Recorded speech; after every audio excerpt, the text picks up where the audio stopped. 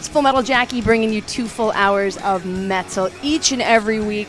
With me, the one and only Lemmy. So happy to see you again. Thank you, Jackie. It's so nice to see you again too.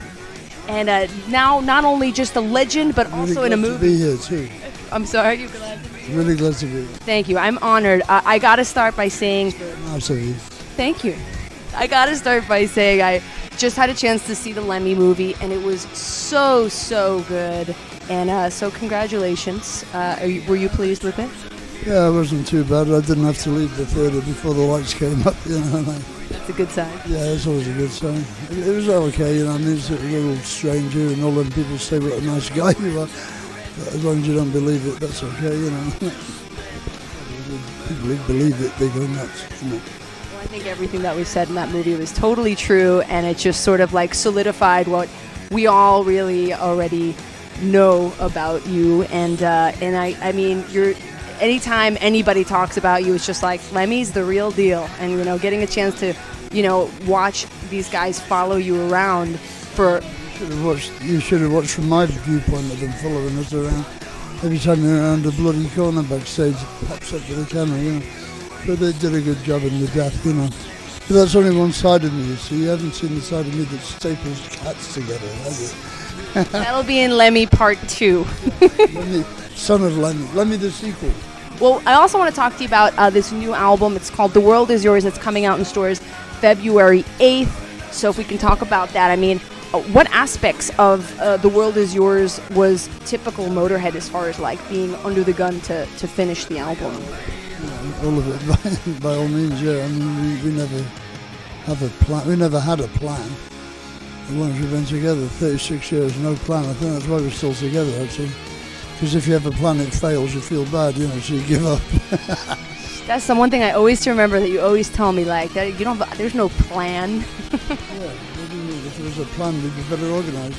So uh, the world, the world is yours again out in stores February eighth. Uh, what's the part, uh, the best part of the end result that comes from working quickly and last minute, as you sometimes have to?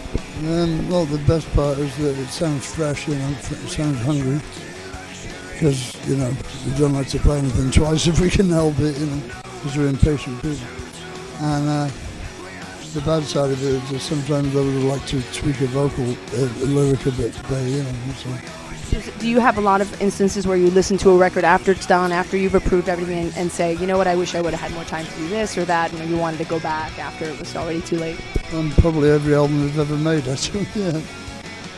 It's okay, you know, it doesn't matter. I mean, they're, they're good. The only one I didn't like was Iron Fist, as I've said before. But that was only because of a couple of tracks that were really, I was very mental, blood adoration, you know. So I, I, should never have written them you know. The World is Yours coming out in stores February 8th. And uh, I want to talk again about the Lemmy documentary. So good. It's going to be out on DVD pretty soon. What parts of the documentary uh, surprised you in terms of uh, the way the filmmakers saw you and ended up depicting you? They made me look, yes. uh, I couldn't believe that they filmed my trash basket for two minutes. I mean, they cut it down to about 20 seconds, but they're still filming like trash basket. Is this interesting? I don't think so.